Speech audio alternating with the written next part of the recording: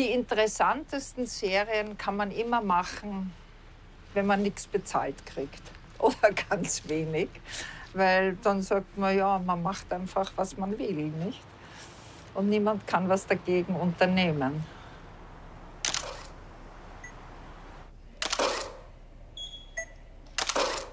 Also ich habe schon so die Modefotografie ein bisschen untergraben oder weitergeführt oder eben probiert, wie weit man gehen kann, was dann noch immer als Modefotografie vielleicht akzeptabel ist oder nicht. Also das hat einfach Spaß gemacht, sowas auszuprobieren. Und gleichzeitig war es eben eine andere Idee.